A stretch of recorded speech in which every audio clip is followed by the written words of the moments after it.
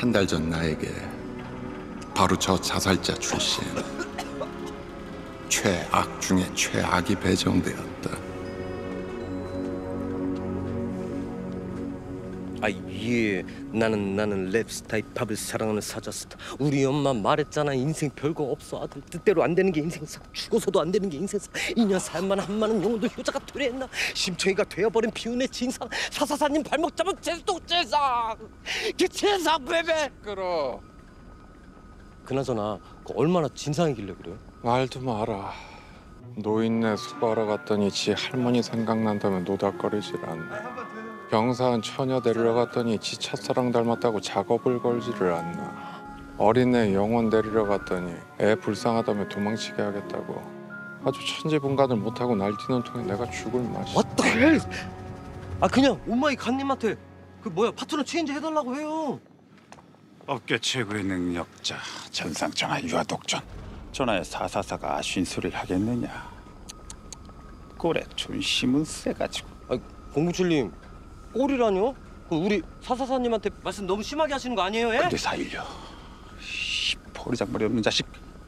우리가 인간이었으면 내가 네 저거 상벌이다 이놈아. 내가 이순신 장군 임종도 지켜본 사자야. 인간은 이순신 장군이 겨드랑이에 이렇게 화살이 맞아 죽은 줄 알죠. 그게 아니에요. 내가 그 자리에 있었는데 우리 엄마 말했잖아. 유아 개뻥 라이어. 빨 어디서 그런 핵에 망측한 인간 음악에 미쳐가지고.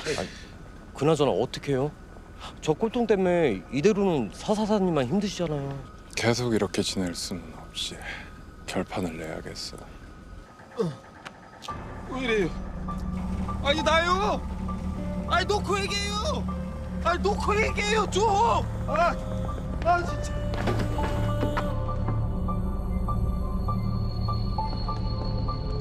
비켜 비켜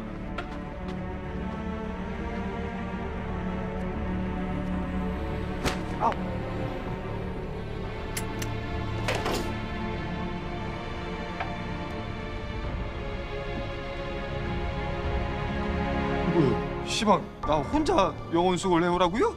그래 도착하자마자 이 캡슐을 열어 그리고 네가 데려올 영혼 얼굴부터 확인해 언제 어디서 어떻게 죽을지 몰라 그 형상이 사라지는 바로 그 순간부터야 그러니까 한시도 눈 떼지 말고 지켜보고 있다 죽으면 바로 끌고 와 알았지?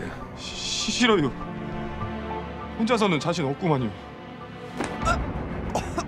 내 말 똑바로 들어 만약에 네가 한눈 팔아 영원히 도망이라도 치게 되는 날이면 넌 그 책임으로 평생 천계에도 못 가고 지옥 감옥석 펄펄 끓는 가마솥 속에 떨어질 거다